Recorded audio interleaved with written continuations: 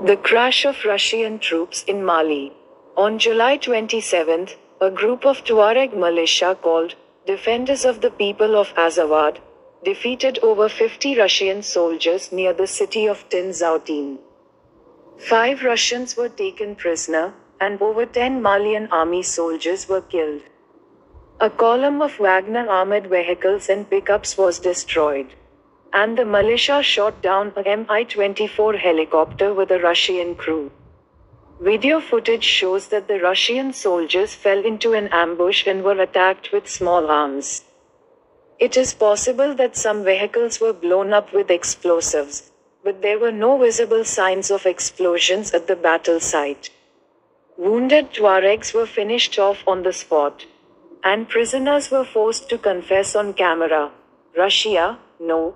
Wagner, no. Azawad. Subscribe now and press the bell icon. Never miss an update.